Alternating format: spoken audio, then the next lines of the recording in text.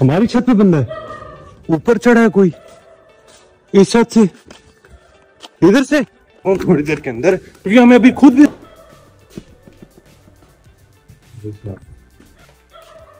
या आ जाए ऊपर। ऐसा भी हो सकता है कि ऐश खुला हो।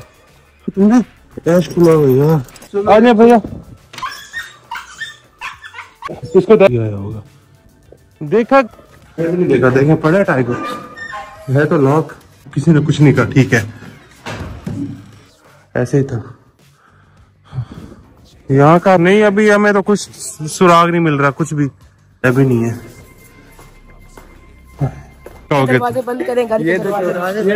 हम के हाँ यहाँ तो डरना चाहिए उसको आने आते हुए। कुछ होता तो मार भी सकता था यार। डरने के निशान। हम आते हैं भाई सब। को जगाया सारे मल्ले वालों को जगाया तो आप तो सो रहे हैं उसको पता है। किसी को कुछ भी नहीं हुआ। वो चोर जो भी था वो भाग गया। ये भी हमारे जानवर भी हम सब भी। बाकी टेंशन कैसे हो गया आज?